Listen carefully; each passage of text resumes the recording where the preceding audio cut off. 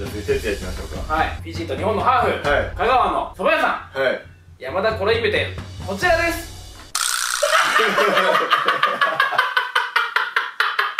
こいつが作ったそば誰が食うねんいや人気者でしょこんなん。顔はこうだけど喋ったら優しくてなんだ親しみやすいじゃないかって言って人気者になっちゃうタイプ。誰でもそうだよ！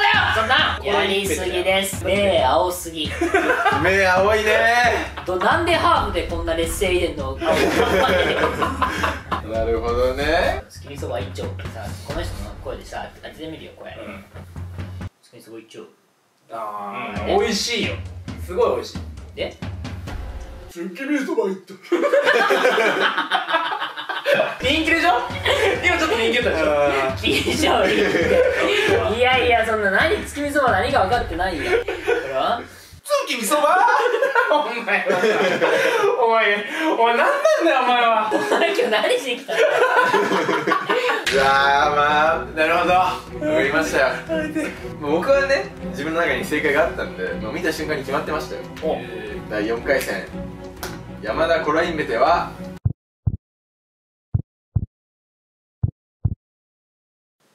この方です。やったーコラインベテだお前がコおいゆきくんなんだ俺がコロインベテバカだ。バカ企画だ。誰も納得しないよこんな企画。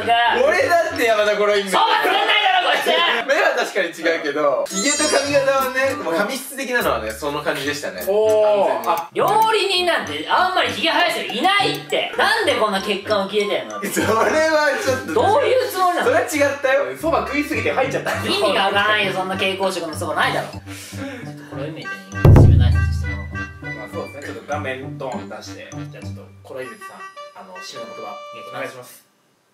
また明日も来る。じゃあね Yeah.